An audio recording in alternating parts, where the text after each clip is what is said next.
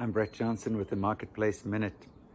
One of the mistakes I've made when it comes to kingdom economics is exchanging capital for working capital, using money that should be invested and using it for things that are transitory. But there is an interesting example in scripture of somebody who figured out how to exchange capital for spiritual capital. And it was a woman with a questionable background. She didn't have the best reputation and yet she comes and she takes her life savings and she pours it out at the feet of Jesus. And today we still talk about her. It was an unseemly act. It didn't make sense to people. But she, in essence, exchanged capital for spiritual capital.